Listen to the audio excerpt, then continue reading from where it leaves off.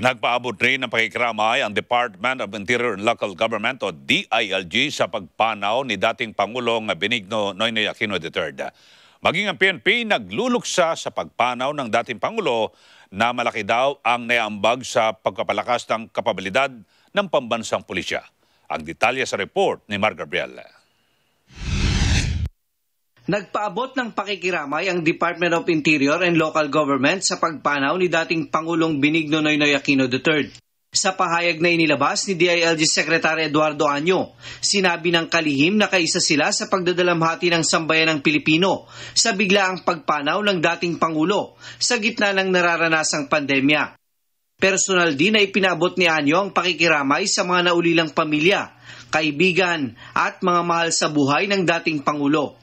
Nagpasalamat din sila sa legasiya, serbisyo at sa napakaraming kontribusyon ni Pinoy para sa bayan.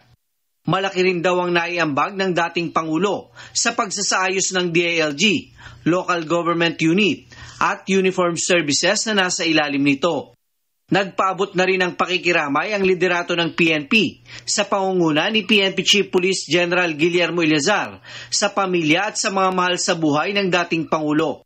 Bilang dating Commander-in-Chief, malaki raw ang nagawa ni Pangulong Noy sa reforma at sa pagpapalakas ng operational capability ng PNP upang makapagserbisyo at mapanatili ang kapayapaan sa bansa.